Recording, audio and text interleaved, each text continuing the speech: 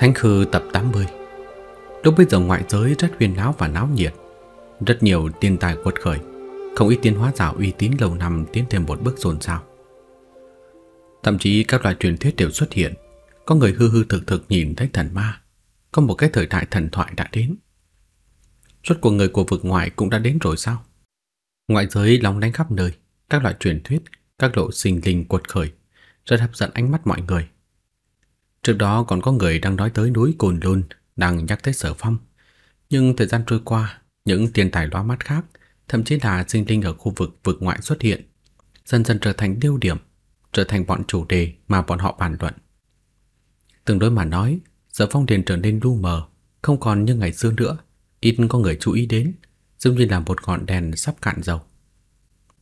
Mặc dù các đại tài Việt chưa từng đến gây sự với Sở Phong, nhưng mà bây giờ cũng sẽ không có thiện ý gì, tạm thời đem xem nhà hắn. Một tháng cứ thế trôi qua, Sở Phong tâm thần dần an tĩnh lại. Hắn từ thất lạc trở nên yên tĩnh. Đây là một cái quá trình điều chỉnh đáng chát. Trước khi chưa trải qua, ai cũng có thể nói mình cứng rắn, nhưng mà chỉ có tự mình trải nghiệm rồi mới hiểu rõ tư vị trong đó. Bây giờ hắn bình tĩnh, trong lòng mặc dù có chút buồn vô cớ, nhưng đang nghĩ thông suốt Việc đã đến nước này, đường còn phải đi về phía trước, phải thoát khỏi quá khứ mà thôi. Hắn nhớ tới giấc mộng kia, dưới cây bồ đề trong tịnh thổ của núi Himalaya. Hắn bị vòng xoáy Phật quang thôn phệ. Trong giấc ngủ sâu đó, hắn được cho biết tiến hóa là hư giả. Hắn một người bình thường kết hôn sinh con, vượt qua một đời bình tĩnh. Mộng là báo hiệu sao?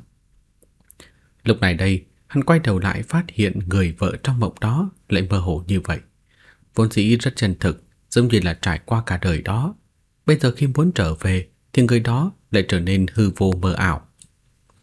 Những chuyện khác đúng là sự thật, còn có thể nhớ rõ trong lòng. Duy chỉ có người con gái kia đã hóa thành vô số điểm sáng tàn mất. Mấy ngày sau, Lâm Đặng Y tới. Trước đó cô nàng từng nhiều lần gọi điện thoại cho Sở Phong hỏi thăm tình trạng cơ thể của hắn. Trên đỉnh núi, ánh sáng vàng chiếu rọi khắp nơi, thanh tùng thúy bách đã núi sừng sững, cũng có tử khí từng sợi.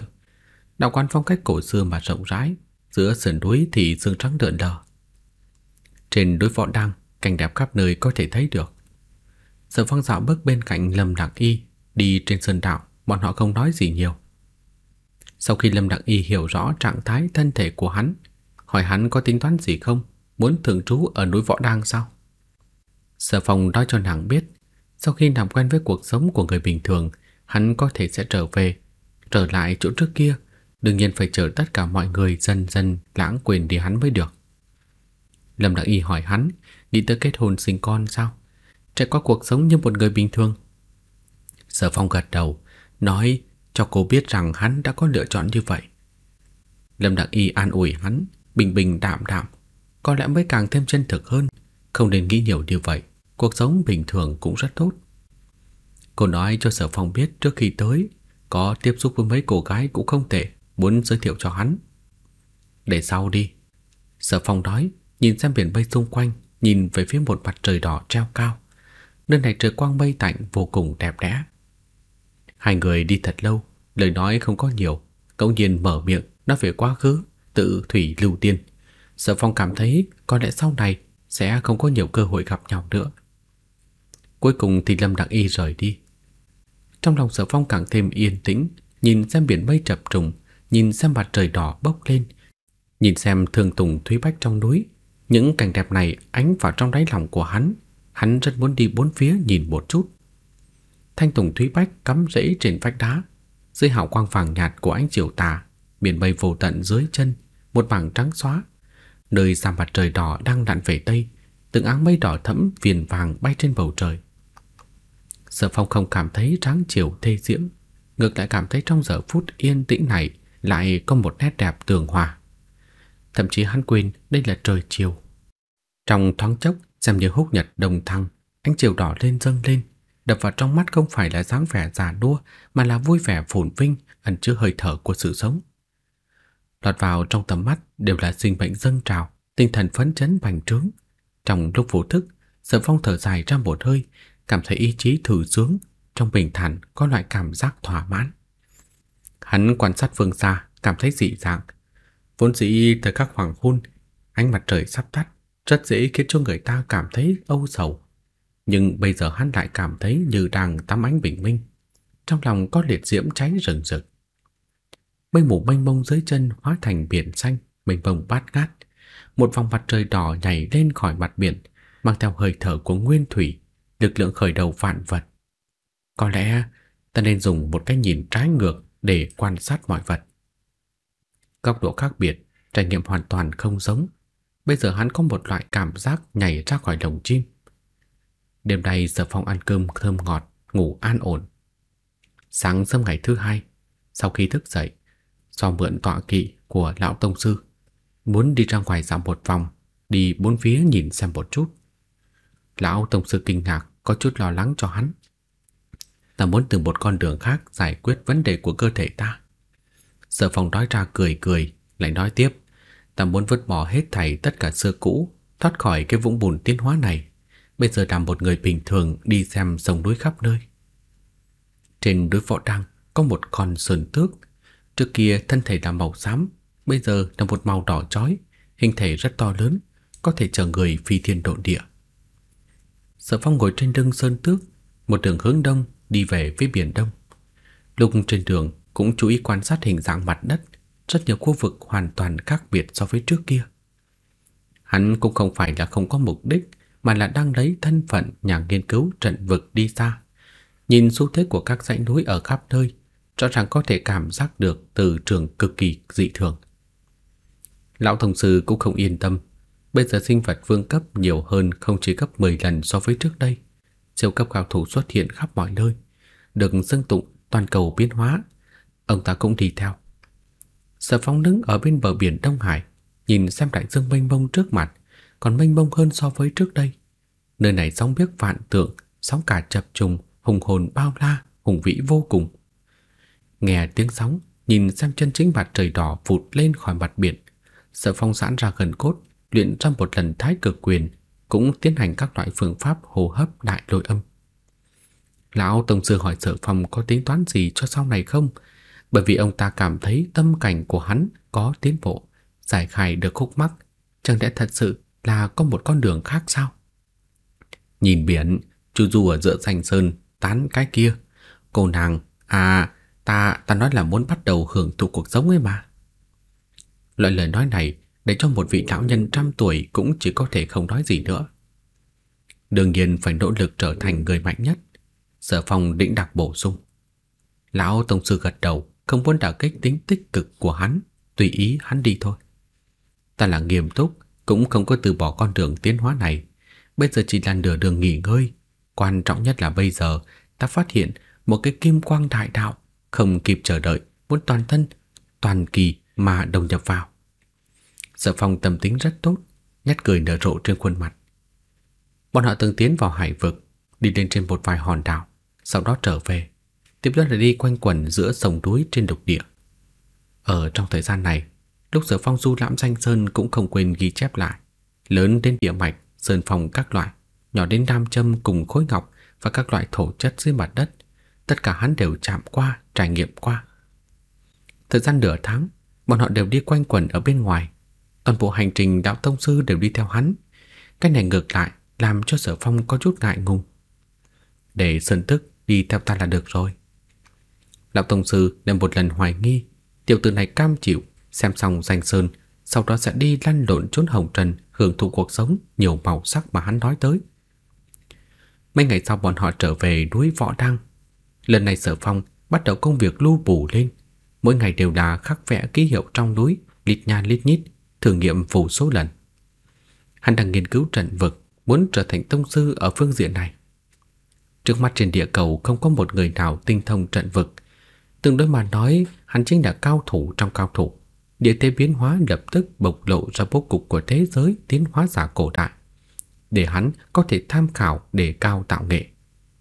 Cơ hội khó có được, có chút khu vực trải rộng trận vực kinh người. Quyển sách mà Sở Phong lấy được, trong đó có đại lượng ký hiệu qua đầu văn, cần hắn đi nghiệm chứng xem nó có tác dụng gì.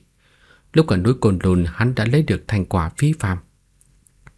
Ngây người trong đó thật lâu, Hắn đi khắp mỗi một tấc đất ở nơi đó. Ở trong mười dặm tịnh thổ của núi Himalaya, hắn càng đã phát hiện rất nhiều nam châm ghi lại các loại đất gãy, tổn hại ký hiệu.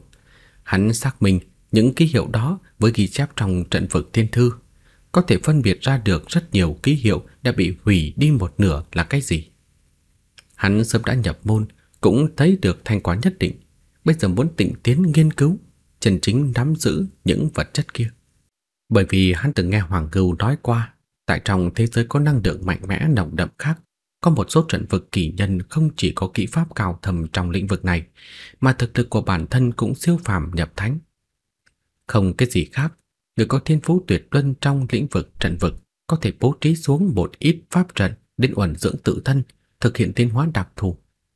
Tỷ như có trận vực quỷ tài đã từng bố trí xuống vùng đất dưỡng sinh kinh thế, dùng 18 loại trận vực tạo dựng trong một khu vực có năng lượng sinh mệnh nồng đậm đến nghe sợn cả người, giá trị cho một tòa thượng cổ phượng sao đã bị vứt bỏ ở đời đó.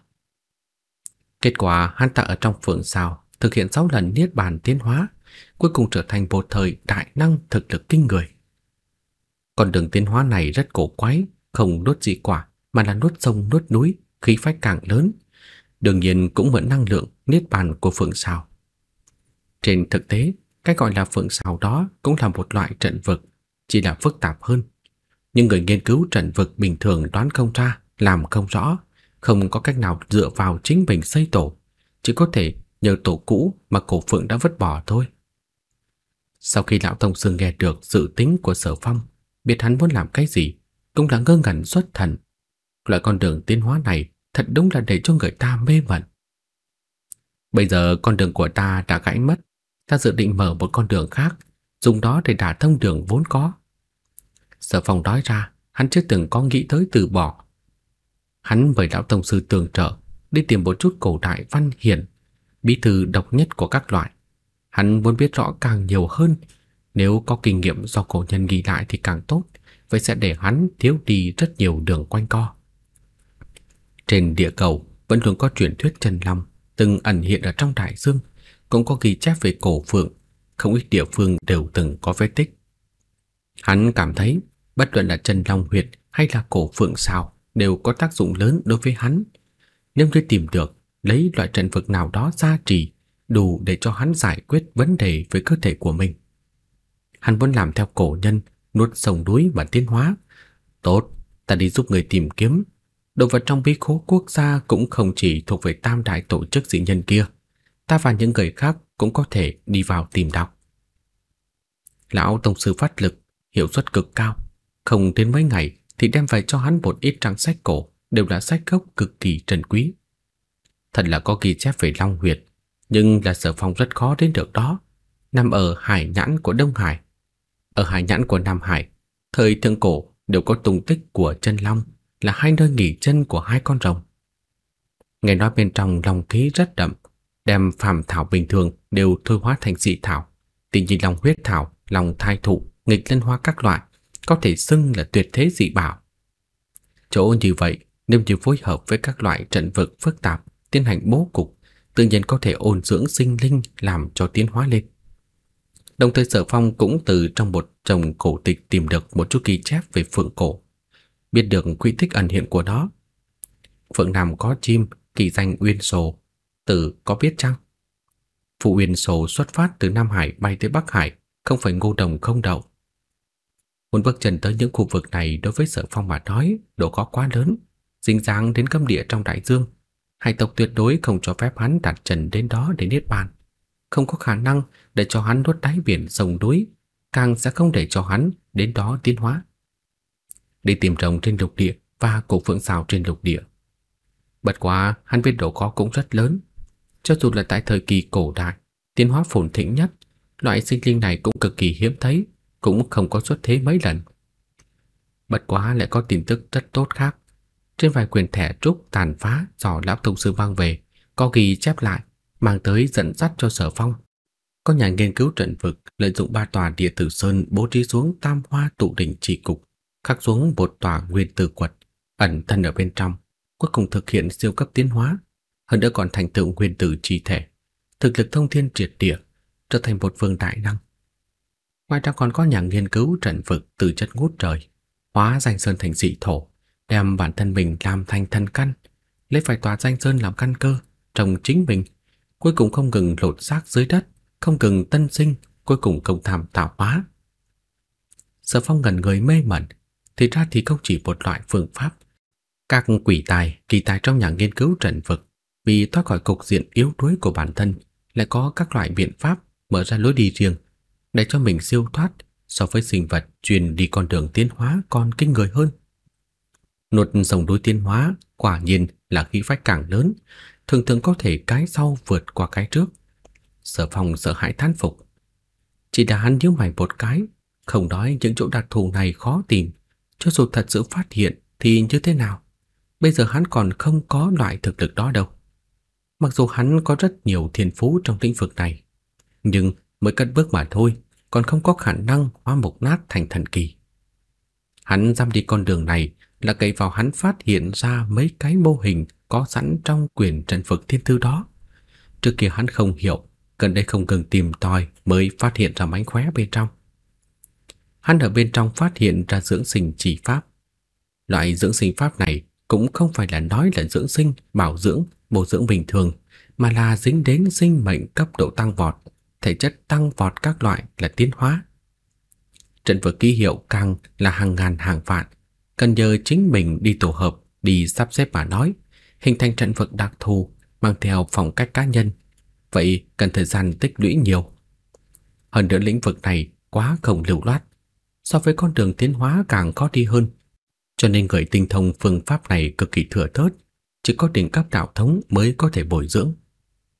Bây giờ Sở Phong phát hiện mô hình có sẵn, tự nhiên mừng rỡ. Hơn nữa thoạt nhìn mấy loại trận vực mô hình đó đều cực kỳ thành thục, cực kỳ không đơn giản. Ý hắn biết đến, quyển sách này hẳn đã có lai lịch lớn hơn cả tưởng tượng của hắn và Hoàng Ngưu. Trong thời gian kế tiếp, Sở Phong không cần tìm tòi các ký hiệu lên trên đối đá, lợi dụng địa thế đặc thù để tạo dựng vô hình vốn có đó. Loại ký hiệu này rất quan trọng, dù là khắc sai một chút đều không có được. Nhiều ký hiệu sắp xếp tổ hợp như vậy, thần cẩn thận, mà lúc an trí càng phải chính xác đến từng chi tiết nhỏ. Bởi vì là khắc xuống ký hiệu, vị trí lệch hướng một phần sẽ đều thất bại, thậm chí là tạo thành tai họa. Bởi vì có một ít trận vực bá đạo rất nguy hiểm, có chút sai lầm liền sẽ dẫn tới năng lượng chấn động, phát sinh nổ lớn, người xây dựng có thể sẽ chết thế chết thảm. Mấy ngày này, Sở Phong vẫn luôn đang cẩn thận từng ly từng tí. Cũng may cái mà hắn nghiên cứu cũng chỉ là trận vực dưỡng sinh, mà không phải là trận vực mang theo tính công kích bá đạo. Bằng không thất bại vài chục lần đó, bố trí phù văn phương vị không đúng, khả năng liền khiến cho hắn chết thảm mấy chục lần. Dù vậy trong lúc đó cũng xảy ra một lần bạo tạc, năng lượng nồng đậm rời rạc ở trong trời đất chảy ngược xuống tới, khiến cho vùng đất này giải thể. Sở Phong miệng đầy bọt máu bị đánh bay ra ngoài, gặp quỷ rồi. Cũng may trên người Sở Phong có thạch đầu quả thực, lột ra ra đá, ăn một chút thịt quả đỏ tươi, hắn lại lòng tình hổ mãnh ngay. Khoảng thời gian sau đó, Sở Phong qua rất phong phú, vừa nghiên cứu địa thế núi Võ đang, suy nghĩ cổ nhân đều lại trận vực ký hiệu ở chỗ này, vừa tạo nên bồ hình của trận vực dưỡng sinh. Cuối cùng hắn than nhẹ, muốn hoàn chỉnh tái hiện loại trận vực dưỡng sinh hùng vĩ đó. Bây giờ căn bản không có khả năng, ta không thể chạm vào. Vật liệu cần thiết quá nhiều, thì như đặc thù nam châm và tinh khiết ngọc thạch các loại, đây đều là vật liệu thiết yếu. Mà những ngày này trong tay của hắn đều không có nhiều. Bây giờ hắn chỉ có thể khắc vẽ trên núi đá phổ thông, hiệu quả rõ ràng là rút lại rất nhiều. Cuối cùng sau nhiều lần nghiên cứu, Sở Phong quyết định từ chỗ nhỏ tới tay, bố trí xuống phiên bản đơn giản của trận vực dưỡng sinh. Đây cũng là mô hình trong sách có sẵn, là phiên bản tốt giản của bộ trận vực dưỡng sinh lớn kia, là một bộ phận tạo thành đó. Bởi vì bây giờ Sở Phong không còn đủ năng lực đi khắc xuống trận vực lớn, cần bao trùm rất nhiều ngọn núi. Công trình đó cần số lượng quá nhiều, khó tránh khỏi có chút dọa người. Sầm. Và cuối cùng vô hình trận vực cỡ nhỏ khắc vẽ trên núi đá bình thường chỉ tồn tại trong chốc lát. Sở Phong còn chưa kịp cẩn thận trải nghiệm thì nó đã giải thể rồi. Hắn suýt chút nữa đã bị làm bị thương. nhưng đôi đá đó toàn bộ nổ tung, cũng may năng lượng cũng không có nổ lớn. Hắn thành công khắc xuống mô hình trận vực cỡ nhỏ này, nhưng là bởi vì vấn đề tài liệu nên tuổi thọ sử dụng cực kỳ ngắn ngủi. Hắn than nhẹ, cũng có chút hâm mộ những tài phiệt kia. Bọn hắn có tài lực kinh người, nhân thủ đồng đúc, nếu như có thể do hắn chi phối, chưa chắc đã không thể tạo dựng ra một cái trận vực cực lớn. Lão Tổng sư tỏ ra rất đạm mạc, không có tài lực kinh thế. Trên núi chỉ có mấy cái đạo đồng đi theo ông ta luyện quyền. Ở trong hồng trần căn bản cũng không có các loại sản nghiệp gì. Với thực lực bây giờ của ông ta mà nói, tuyệt đối có thể sống cuộc sống xa xỉ, người trên người. Nhưng tính cách không cho phép, ông ta vẫn luôn sống cuộc sống rất giản đơn, uống sơn tuyền, ăn hạt thông, không có gì khác biệt với nhân sĩ tu đạo thành công ở cổ đại. Sau khi hiểu rõ khó khăn của Sở Phong, lão tổng sư xuống núi đi giúp hắn tìm kiếm các loại nam châm, lại săn một con ác thú vương cấp, đi đổi với người khác để lấy một loại ngọc thạch cao cấp. Sở Phong trong lòng nóng hầm hập, nhưng mà những thứ này còn kém xa nhu cầu của hắn, chỉ có thể tạo dựng vô hình trận vực cỡ nhỏ. Không được, ta phải nghĩ biện pháp lợi dụng tài phiệt để bọn chúng cung cấp vật liệu cho ta. Sở Phong bắt đầu suy nghĩ nói. Bất quá, bây giờ có nam châm, có ngọc thạch, hắn đương nhiên sẽ không dừng tay, bắt đầu tiếp tục thí nghiệm. Quả nhiên, sau khi mô hình trận vực dưỡng sinh cỡ nhỏ tạo dựng tốt, hắn đứng ở bên trong, cảm nhận được khí tức hoàn toàn không giống. Tăng lượng sinh mệnh nồng đậm không ngừng vọt tới, rót vào trong cơ thể của hắn. Rất nhanh sau đó, năng lượng trong cơ thể của hắn đã bắt đầu cấp tốc gia tăng. Đáng giận thật. Nhưng mà thời khắc mấu chốt, cối xe nhỏ đen trắng kia chậm rãi chuyển động, lần lượt đánh tan năng lượng trong cơ thể của hắn, làm cho nó lại tán loạn ra ngoài. Sở Phong nhớ mày, nếu như con đường này đều thất bại, vậy hắn thật đúng đã không có một chút hy vọng nào.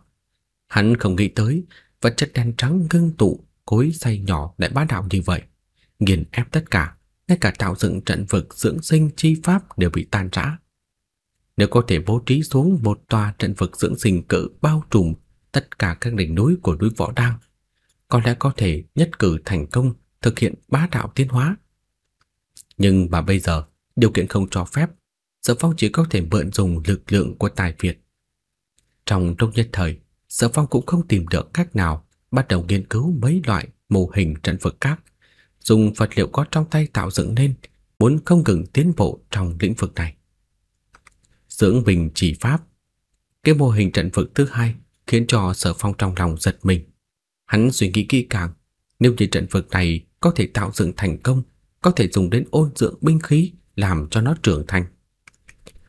Đại trận vực khẳng định không thể tạo dựng được, thiếu khuyết vật liệu. Hắn cũng bố trí xuống một cái phiên bản giản lược, giống như là mô hình trận vực dưỡng sinh. Chỉ nghe còn một tiếng, phi kiếm bên cạnh của hắn kêu khẽ một tiếng, sắc thái từ hồ càng thêm tiên diễm, càng thêm hồng nhuận phồn phớt sáng bóng. Thật sự có hiệu quả sao? Rất nhanh Sở Phong khẽ ồ một tiếng, sau đó thân thể trở nên cứng ngắc, cuối cùng mặt triệt để thay đổi. Giờ các này, hắn cảm thấy thể nội nhiều thêm từng tia từng sợi năng lượng, thân thể lại có thể dấu hiệu chuyển biến tốt hơn. Cái này sao có thể được? Cũng không phải dưỡng sinh chi pháp, cái này thích hợp với bình khí mới đúng chứ. Là nó sao? Rốt cuộc hắn cảm biến được nguồn gốc biến đổi trong cơ thể của mình. Là cối xay nhỏ đen trắng kia, nó giống như là đang được thai nghén, càng thêm chân thực, ngừng luyện rất nhiều. Sở Phong kêu to lên một tiếng, giống như là xuyên phá một tầng cửa sổ giấy, ha ha cười to. Hắn cảm thấy mình đã tìm đúng phương pháp phá giải. Sở Phong biết nguyên nhân chính của biến cố trong cơ thể cũng là bởi vì cối xay nhỏ đen trắng kia. Nếu như đưa nó có thể giải quyết nó, hẳn là cơ thể của mình cũng sẽ không sao. Trước kia, hắn vẫn luôn luôn không có cách nào, cho đến khi đặt mình vào trong trận vực dưỡng sinh, tình huống mới có thể chuyển biến theo hướng tốt. Hoàng Gâu từng nói, vật chất đen trắng đang hóa hình, muốn ngừng kết thành một đồ vật, cuối cùng thành hình mà nói có thể giúp Sở Phong chiết xuất năng lượng, rèn luyện huyết khí các loại. Thứ này có giá trị liên thành, trong cơ thể Hoàng ngưu cũng có, là một cái cối giả thuốc vàng óng, chính là tiến hóa giả cấp Bồ Tát để lại. Nó hết sức đặc thù, nằm ở giữa hai trạng thái năng lượng và vật chất, chỉ có thiền nữ thánh tử của đạo thống cấp cao nhất mới có loại vật chất này, quá hiếm thấy. Có thể giới tinh thần từ xưa đến nay, người có được nó cũng có thể đếm được trên đầu ngón tay. Đồ vật bên trong cơ thể Sở Phong, một khi thành hình chính là cơ duyên to lớn, có thể rèn luyện năng lượng và huyết khí, tăng lên phẩm chất, có thể khiến cho thực lực của bản thân tăng vọt. Đồng thời nó còn có vô tận diệu dụng, lúc đến tầng thứ cao hơn mới có thể thể hiện ra. Thế nhưng là nếu như loại đồ vật này không có thành hình, thất bại, vậy thì điên mang ý nghĩa, nó vẫn mang theo thuộc tính của vật chất màu đen như cũ. Đối với giai đoạn bây giờ của Sở Phong mà nói, nó chính là độc dược, sẽ hao hết năng lượng của hắn, thậm chí ăn mòn hết máu, thịt và tinh thần của hắn. Bây giờ tới các chuyển vận đã tới, trận vực dưỡng sinh có thể trợ giúp cho nó thành hình. Trước lúc này, Sở Phong còn tưởng rằng nó là tàn thứ phẩm, đã thất bại rồi, cho nên hắn mới đi thêm một bước này. Mà Hoàng Ngưu cũng đã nói, để cho hắn chờ chừng 10 ngày, nếu như còn không được mà nói, như vậy hơn phân nửa chỉ sợ hy vọng không lớn, của xài đen trắng có thể có thiếu hụt. Sở Phong mừng rỡ, sau đó cẩn thận trải nghiệm. Hắn ngồi yên trong trận vực dưỡng sinh, rõ ràng cảm nhận được những biến hóa kia. Trong cơ thể của hắn không còn khô cạn nữa, có thể lưu lại một chút năng lượng. Cối xài đen trắng cũng càng thêm ngưng thực, mang ý nghĩa thiếu hụt của nó đang dần dần được bù đắp, đang từng bước hoàn thiện hơn. Sau nửa ngày, những năm châm và các khối học tinh khiết chung quanh sở phong đều chia năm xẻ bảy bị tiêu hao hết. Một tòa mô hình nhỏ trận vực dưỡng sinh chỉ có thể kéo dài nửa ngày, cực kỳ tiêu hao vật liệu. Hắn cũng biết, ở vực ngoại và một vài chỗ trên địa cầu có nguyên tử tinh thể, thậm chí thông linh bảo ngọc. Vật như vậy, nếu như khắc ký hiệu trận vực lên đó, tuyệt đối là dùng rất bền. Nghe nói còn có nguyên tử thần tinh các loại có thể dùng hơn một vạn năm. Trong thế giới tinh thần cường đại, trận vực trong một số đạo thống động một tí liền có thể vận chuyển mấy chục vạn năm, độ bền của những vật liệu đó càng thêm kinh người hơn. Trước mắt không tìm được vật liệu tốt, chỉ có thể dùng nam châm và khối ngọc bình thường thôi. Sở Phong lần nữa khắc vẽ ký hiệu, một lần nữa bố trí trận vực dưỡng sinh, cái gọi là quen tay hay việc. Sau khi lại lĩnh ngộ thêm một phần ảo diệu của những ký hiệu đặc thù đó, động tác của hắn thành thạo, rất có mỹ cảm. Không bao lâu sau thì trận vực liền tạo thành rồi. Sở Phòng nhắm mắt lại, cảm thụ được năng lượng róc rách chảy xuôi trong cơ thể, giống như là dòng suối nhỏ khô cạn lại xuất hiện thủy quang, làm dịu đường sông khô nứt, dao động ra sức sống. Đây là một loại hưởng thụ năng lượng mất đi, bây giờ một lần nữa thu hoạch lại được, để cho hắn cảm giác được loại diệu dụng kia. À, hắn rõ ràng cảm nhận được năng lượng sinh ra trong cơ thể càng thuần túy hơn trước kia, cũng càng mạnh mẽ. Là cối xay đưa đến kia, nó đã bắt đầu hiện ra tác dụng của nó. Cối xay đen trắng chuyển động, nằm năng lượng tiến vào trong thân thể ép tán, cắt ra đại bộ phận, chỉ để lại một chút, nhưng lại là phẩm chất cực kỳ cao. Hoàng Ngưu có nói, một khi thứ này thành hình, có thể điên cuồng cướp đoạt năng lượng từ bên ngoài. Cam đoan năng lượng trong cơ thể của mình luôn luôn nồng nặc, không có dấu hiệu vô cạn. Nhưng bây giờ xem ra, trong cơ thể của Sở Phong mới có thay đổi, có thể lưu lại một chút năng lượng phẩm chất cao, còn kém xa lắm. Loại hiện tượng này chỉ có thể nói rõ, cối xanh nhỏ kia còn có thiếu hụt, cần trận vực dưỡng sinh không ngừng ôn dưỡng nó, làm cho nó hoàn thiện hơn. Cho đến tận đêm, Sở Phong vẫn luôn ở trong trận vực dưỡng sinh, không hề rời đi.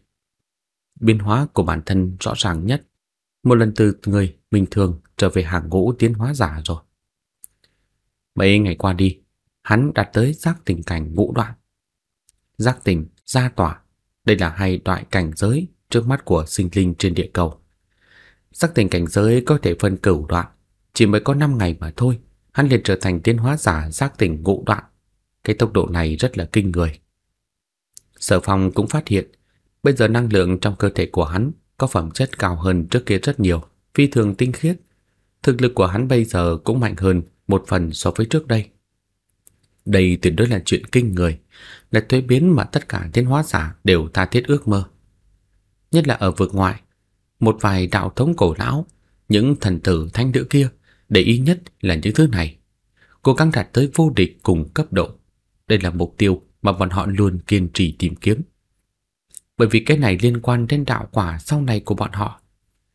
Bây giờ Sở Phong còn không biết tình huống của mình, những thế giới tinh thần khác thế nào. Nhưng hắn cũng biết loại biến hóa trước mắt này rất quan trọng. Ý hắn biết đến, cối xay đèn kia thực sự rất là khó lường.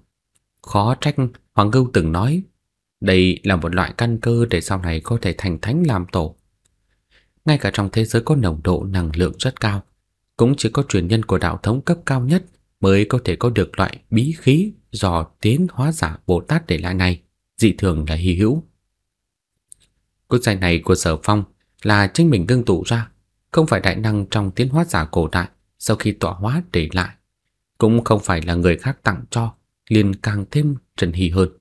Sở Phong đi ra khỏi trận vực dưỡng sinh, năng lượng trong cơ thể hắn cũng không tán loạn, có thể bảo trì lại, có thể vận chuyển phương pháp hô hấp các loại.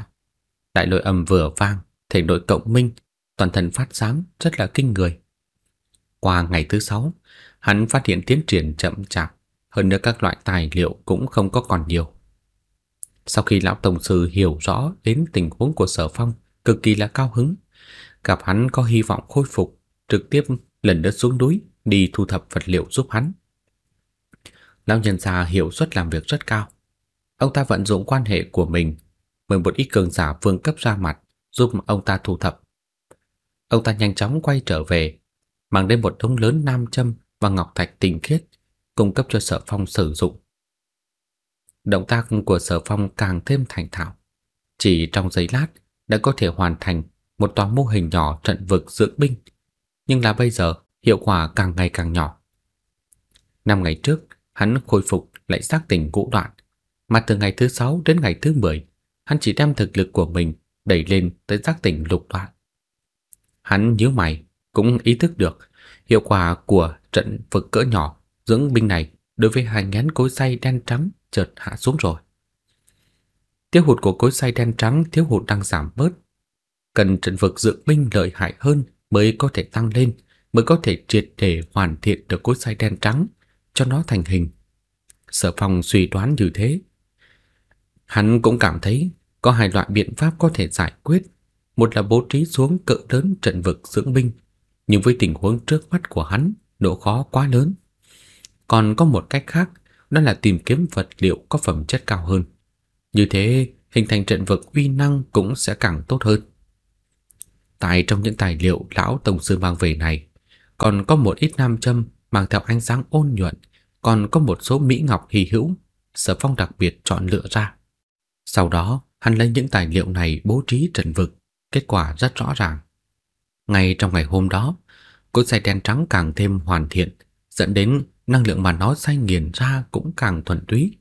Thực lực của Sở Phong trong ngày hôm đó cũng tăng lên tới giác tỉnh thất đoạn. Quả đúng là thế, suy đoán của hắn trở thành sự thật. Sở Phong khát vọng một chút tài liệu tốt, nhưng là để lão tổng sư tìm kiếm quả nhiên là khó khăn. Nếu là sau lưng có một cái đại tai phiệt, đây tuyệt đối không phải là vấn đề gì. Đáng tiếc, nam châm đặc thù chỉ có một chút như vậy, trực tiếp sử dụng bị hết. Không được rồi, phải mượn nhờ lực lượng của các đại thế lực đó giúp cho ta tránh thoát khỏi lồng chim. Sở Phong nói ra, quả nhiên mấy ngày sau đó, hắn tiêu hao đại lượng vật liệu phổ thông, cũng chỉ khôi phục lại giác tỉnh bát đoạn mà thôi. Lão tổng sư lần nữa xuống núi, thế nhưng là vật liệu phổ thông mà ông ấy mang về triệt để vô dụng đối với hắn, nhất định phải nghĩ biện pháp khác. Mấy ngày này phi kiếm trên người của Sở Phong được thay ngén rất bất phàm, càng thêm đỏ tươi oánh nhuận, trên phẩm chất có chỗ tăng lên, điều này thực là kinh người. Đồng thời bản thân của hắn chú ý tới một thanh trụy thủ bình thường bị hắn đặt ở bên trên người cũng có thể làm thí nghiệm, lại cũng có biến hóa không nhỏ, trở nên dị thường cứng rắn và sắc bén. Mười mấy ngày thôi, thanh trùy thủ này đã có thể chặt đứt trùy thủ có cùng loại chất liệu như nó. Mặc dù tự thân cũng bị hao tổn không nhẹ, nhưng cũng không có gãy mất. Tăng đền thật sự là rõ ràng. Ta có thể hợp tác với những tài phiệt kia, giúp bọn họ dưỡng binh. Đúng rồi, nghe nói bọn họ vẫn luôn khát vọng luyện ra phì kiếm, tìm kiếm được rất nhiều vật liệu huy hữu. Thật đúng là luyện ra một chút bán thành phẩm, ta hoàn toàn có thể giúp bọn họ tiến thêm được một bước. Sở Phong tự nói nở nụ cười vô cùng tự tin. Đương nhiên, nếu để cho người quen nghe được, khả năng khẳng định là sẽ oán thầm. Sao lại có người có thể tốt bụng tới mức để giúp đỡ tài Việt, chắc chắn không hề có ý đồ tốt rồi. Sở Phong hỏi thăm lão tông sư, bây giờ ngoại giới ra sao? Hắn muốn biết một chút động thái của những đại thế lực kia, muốn hợp tác với bọn họ. Cao thủ xuất hiện lớp lớp, tần siêu cấp vương giả thỉnh thoảng hiện lên, bên ngoài rất là náo nhiệt, ra một chút cường giả cấp bá chủ rồi. Lão Tổng Sư nói, sau khi biết được Sở Phong muốn mượn lực lượng của các đại tài Việt, lão nhân giống như nhớ ra cái gì đó nói. Mấy ngày nữa, trong thành Giang Ninh lớn sẽ có một trận thịnh hội. Ông ta nói cho Sở Phong biết, những người kia đã từng mời Sở Phong đến. Bên thành lớn Giang Ninh có người đưa tới thiệp mời. Bản thân Sở Phong nghe được tin tức cũng khá là bất ngờ.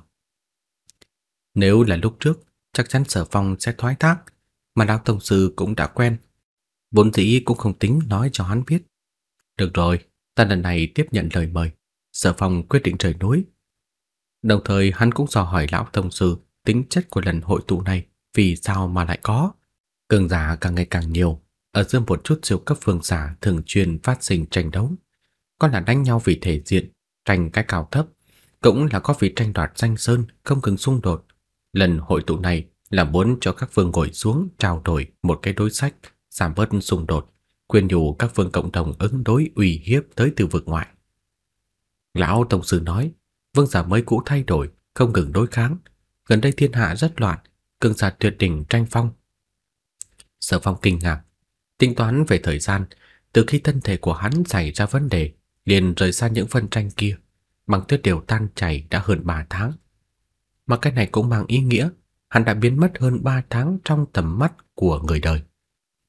Những người kia rất mạnh sao? Sở Phong lại hỏi. Có thể nói hậu sinh khả úy, có phải người đông Đà rất bất phàm? Lão Tổng Sư gật đầu nói.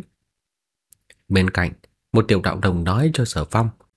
Ba tháng này tối thiểu nhất, có năm đám người từng đến núi Võ Đăng, muốn để nơi đây làm đối thủ. Có thể tưởng tượng tình huống bên ngoài, một chút bá chủ quật khởi, lần lượt tới khiêu chiến lão tổng sư, muốn cướp đạo tràng của ông ấy, quá tự phụ. Còn tốt, mấy đám người kia cuối cùng đều thất bại tan tác mà quay trở về. Sau khi Sở Phong tìm hiểu tình huống, có một chút xúc động, thần hy vọng lập tức khôi phục lại, xuất hiện lần nữa ở bên ngoài, xem xem người nào dám tới khiêu khích địa vị của lão tổng sư, đều do hắn ra mặt mà đi giải quyết. Rồi đi quá lâu, thật đúng là hoài niệm, thật muốn một trận đại chiến nhiệt huyết vô cùng, quét ngang những cái được gọi là bá chủ kia. Sở Phong ánh mắt lập lòe nói. Một vị đạo đồng gật đầu như gà mổ thóc mà nói, "Sở đại ca, người tranh thủ thời gian khôi phục lại đi, nhưng người kia quá đáng ghét, từng cái từng cái tự cho là đúng, vọng tưởng đuổi chúng ta đi. Mặc dù lão tổng sư còn có thể áp chế bọn họ, nhưng luôn luôn có những người tới khiêu chiến cũng không tốt, đỡ như có sự xuất xảy ra thì nguy rồi." Ừm, lần này sau khi ta rời khỏi đây, sẽ nghĩ biện pháp giải quyết vấn đề của cơ thể, sau đó sẽ trả lại cho nơi này một cảnh an bình. Sở Phong lại nói. Hắn cũng không có nghĩ đến, sau 3 tháng trôi qua, ngoại giới biến hóa nhanh như vậy. Vô số cao thủ tuột khởi như vậy, có chút siêu cấp vương giả không biết thời thế chạy đến núi võ đang kêu chiến, muốn đem lật đổ lão tổng sư. Sau đó mấy ngày Sở Phong vẫn đang nghiên cứu trận vực, rất chuyên chú bởi vì muốn xuất sơn, hắn cần phải chuẩn bị cho tốt. Có thể để người ta mất hồn, loại khoa đầu văn này cũng không tệ. Sở Phong phát giải ra một chút ký hiệu đặc thù của một mô hình trận vực công kích trong quyển thiên thư. Phát hiện có diệu dụng khác, rất là mừng rỡ, lấy tay khắc chế một chút nam châm. Mấy ngày về sau, hắn và lão tổng sư khởi hành, một đường đi vào thành phố Giang Ninh. Giang Ninh danh xưng là một trong tứ đại cố đô, lịch sử đã lâu đời, Ngày xưa không ít vương triều đều từng đóng đô ở đây, có thể nói là huy hoàng và sáng lạng. Tổng bộ của sinh vật thiên thần ngay ở chỗ này, và bồ đề cơ nhân ở chỗ này cũng có trọng yếu phòng thí nghiệm và các loại sản nghiệp khác. Các nhân viên cao tầng cũng ở nơi đây. Thời gian qua đi 3 tháng, Sở Phong rốt cuộc rời núi, đến sau này sẽ xuất hiện lần nữa ở trước mặt thế nhân. Giang Ninh, Hồ Huyền Vũ, đồng gối lên núi Tử Kim, tây dựa vào tường của Minh Thành. Cổ Trung Quốc, lâm viên lớn nhất của hoàng gia, đại xưng là tang bạc hậu hồ, bằng tinh nhân văn lịch sử cổ xưa, có thể ngược dòng tìm hiểu đến thời kỳ tiên tần. Âu Dương Tu từng khen tặng Kim Lăng Mạc Mỹ tại Hậu Hồ, Tiền Đường Mạc Mỹ tại Tây Hồ. Bây giờ ở Hậu Hồ, trong vắt như ngọc thạch, từng sợi tử khí bốc lên, phát ra dao động năng lượng kinh người. Sở Phong và lão tổng sư tới nơi, tới gần hồ nước, cảm nhận được sức sống nồng đậm. Trong hồ thỉnh thoảng có cá chép vàng vọt lên, dài chừng mấy mét, hào quang lập lòe. Hai vị, mời đi bên này. Có người chuyên đứng ở chỗ này, nhìn thấy tiệp mời của hai người, lộ ra nét kinh sợ, nhưng che giấu rất tốt, chỉ phụ trách dẫn đường. Bởi vì hắn ta được cảnh báo, trong này bất luận gặp người nào cũng không được ngạc nhiên, chỉ cần biết lần này sẽ có rất nhiều danh nhân và cường giả tới đây. À, sao ta lại thấy người kia có chút quen mắt? Phía sau có người nhìn thấy bóng lưng của Sở Phong, lộ ra sắc mặt khác thường, không ngừng nhìn chăm chú vào hắn. Bất qua Sở Phong không quay đầu lại, cùng với lão tông sư đạp thảm cỏ xanh trên mặt đất mà đi. Bằng tuyết tàn đi, toàn cầu tiến hóa tấn mãnh. Xung quanh khu vực hồ nước này hoàn toàn khác biệt, bây giờ không thua gì khu vực xanh sơn. Trên ven bờ hồ liền có kỳ thảo và các loại cây lạ, mùi thơm ngát xông vào mũi. Bồn đề cơ nhân, sinh vật thiên thần và không ít nhà tài Việt lập chủ vùng đất này. Lâm viên và khu biệt thự kéo dài liên minh. Không thể nào, ta thấy ai thế này? Người kia sao giống như Sở Phong thế? Có người giật mình nhìn chằm chằm thân ảnh bên hồ. Ba tháng gần đây, Sở Phong biến mất trong tầm mắt của mọi người. Đã rất lâu không có tin tức gì của hắn. Ánh mắt của mọi người tập trung tại trên người những bá chủ mới quật khởi. Bây giờ hắn đột nhiên trở về, xuất hiện ở đây, khiến những người đó rất giật mình. Đây cũng không phải tin tức bình thường, chắc chắn là hắn không. Có chút giống nhưng người kia đuổi tới hết sức là kích động, nhưng bị người ca ngăn cản, không thể tới gần được. Bỗng nhiên đời xa động tĩnh rất lớn, trên bầu trời liệt diễm bừng bừng, một con mãnh cầm màu đỏ giống như chu tước trong truyền thuyết phun ra ánh lửa màu đỏ từ trên trời giáng xuống. Không hề nghi ngờ, nó là một con sinh vật vương cấp cực kỳ cường đại, thả ra hơi thở hết sức khủng bố, chấn nhiếp rất nhiều tiến hóa giả xung quanh. Đây là vị đại yêu vương nào? khí tràng mạnh quá. Một số người hãi hùng khiếp vía nói. Dị cầm màu đỏ dài chừng 150 mét, lúc rơi xuống đất cuồng phong gào thét, ánh sáng đỏ cuồn cuộn, năng lượng nồng đậm khuếch tán như là sóng lớn quét ngang qua. Mấy người trước đó nhìn chằm chằm bóng lưng của Sở Phong, cũng giống như những người khác, lập tức bị hấp dẫn ánh mắt. À, đó chỉ là một con tọa kỵ à? Mọi người rung động, phải biết con hung cầm này ít nhất cũng đã cường giả đột phá 4 năm đạo công diệt. Trên lưng của mãnh cầm màu đỏ có một tòa cung điện bị trở đi như hành cung. Lúc này từ bên trong đi ra mấy người, đạp trên lưng hung cầm nhảy xuống mặt đất. Người cầm đầu là một nam tử trẻ tuổi, mặc áo sơ mi màu tím, sợi tóc hơi dài che phủ lỗ tai, rủ xuống tới đầu vai, nhìn rất là phiêu giật con mắt rất sáng. Tuổi tác của hắn cũng không lớn, khoảng chừng 25-26 tuổi, nở nụ cười nhạt, cả người có một cỗ tinh khí thần có thể rất khó diễn tả.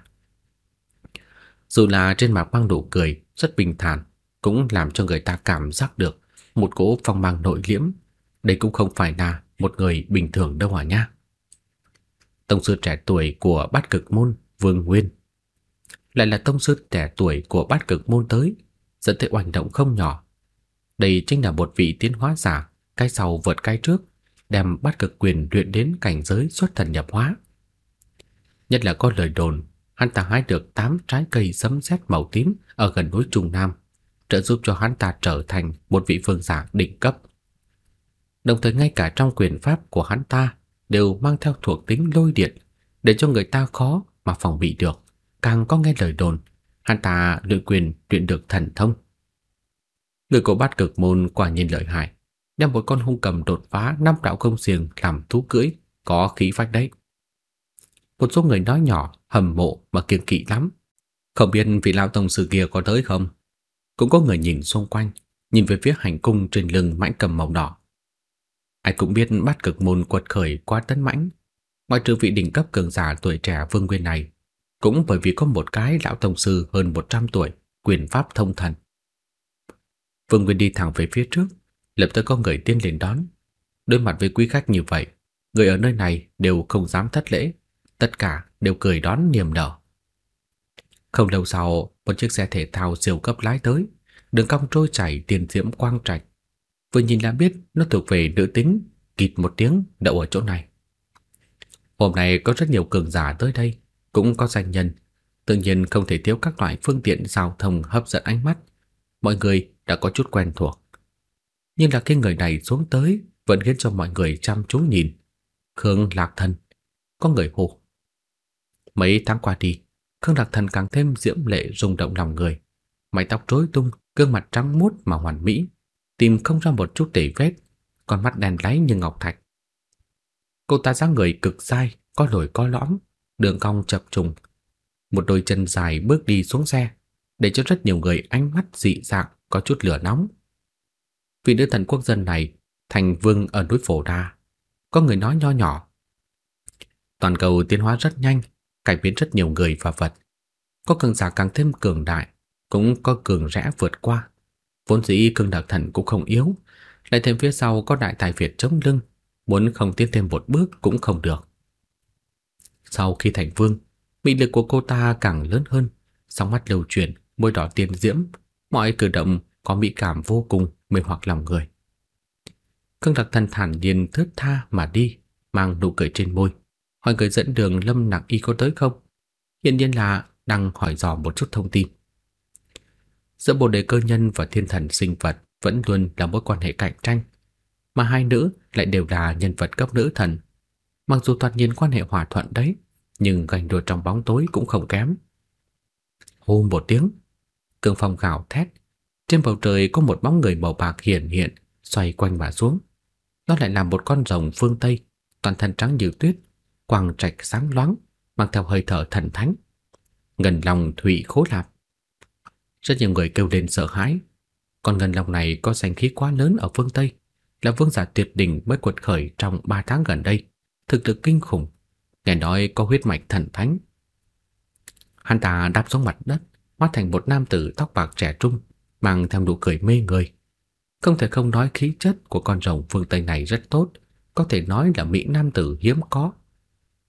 Ngay cả cao thủ ở phương Tây cũng tới, có thể thấy được lần thịnh hội này được các vương hết sức coi trọng.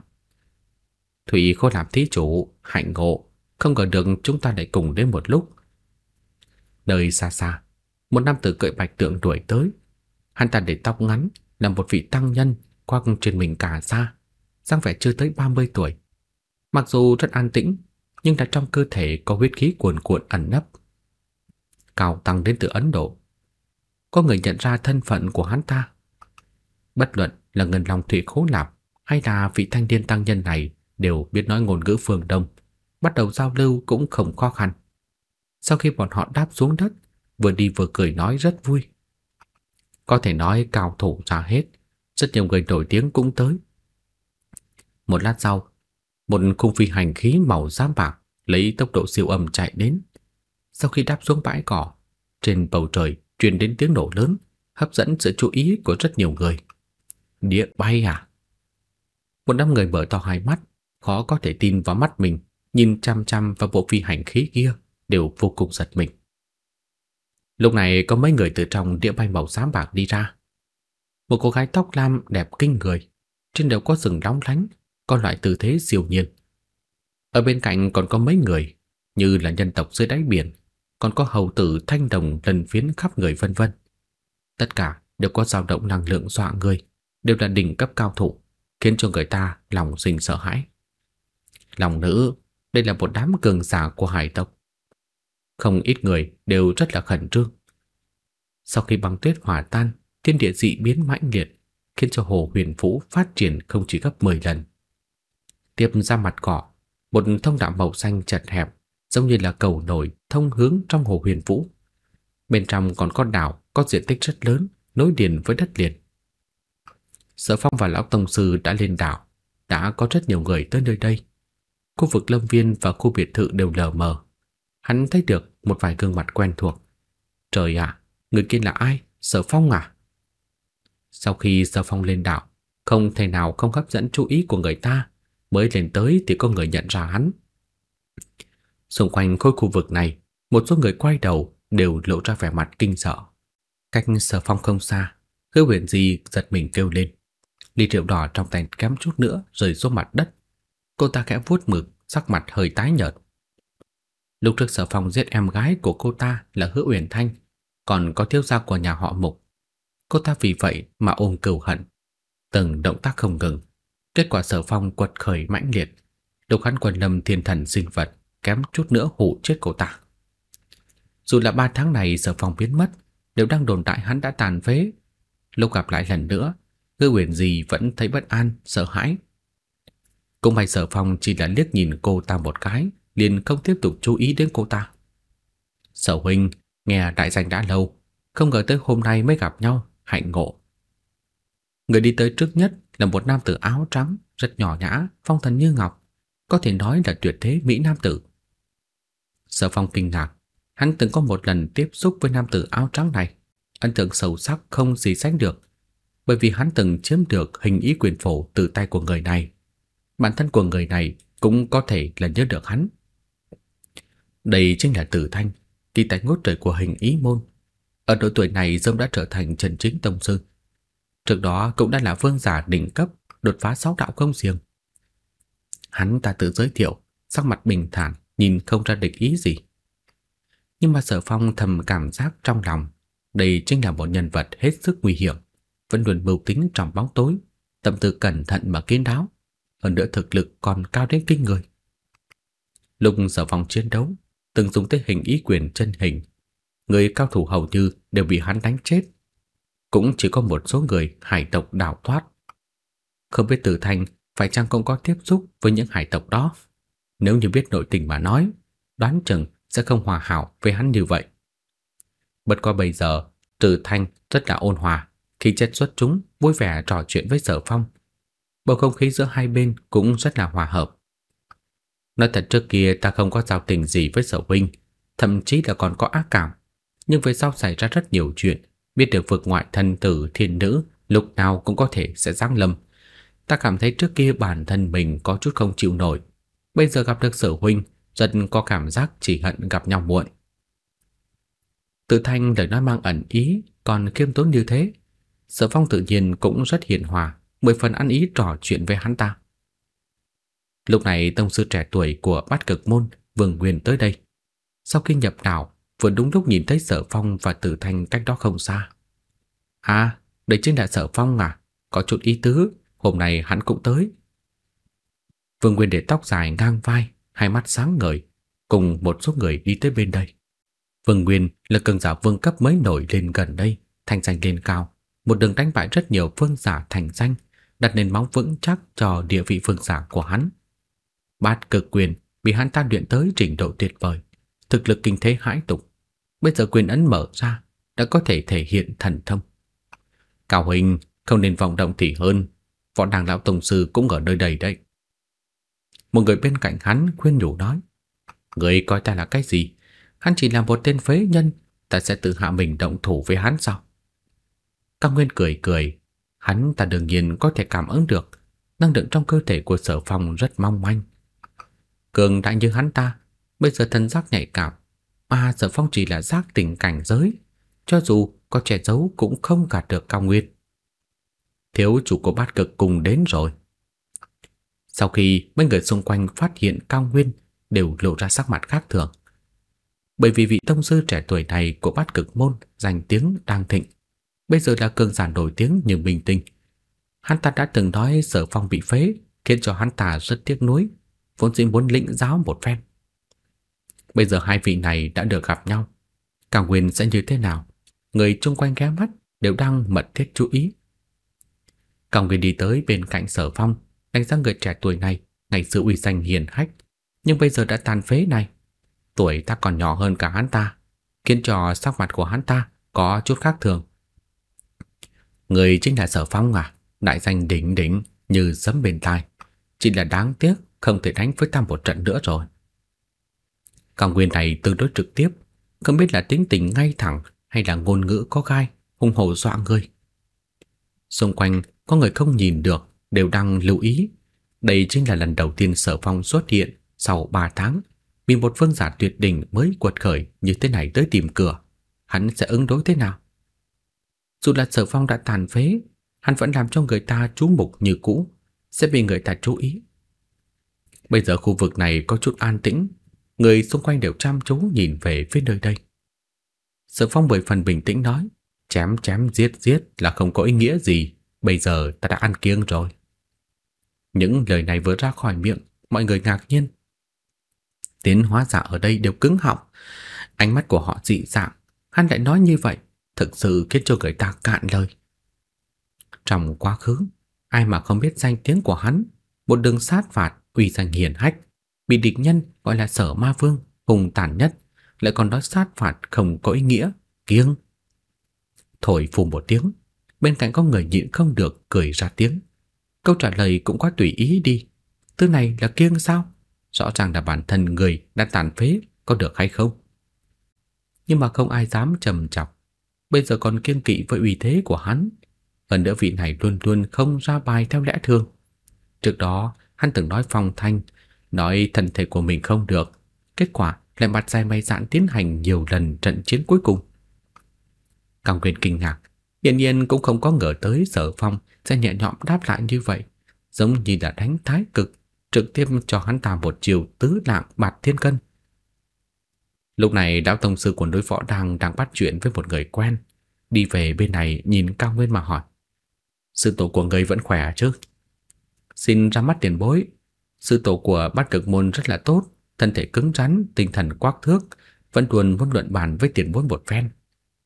Cao Nguyên vừa cười vừa nói: Mọi người nghe nói tất cả đều lấy làm kinh hãi. Vậy cũng có nghĩa là sẽ có một trận chiến giữa hai lão tông sư. Nếu bàn về quyền pháp, đương thời chỉ sợ không người nào có thể sánh vai. Một thân thạo nghệ không thể tưởng tượng.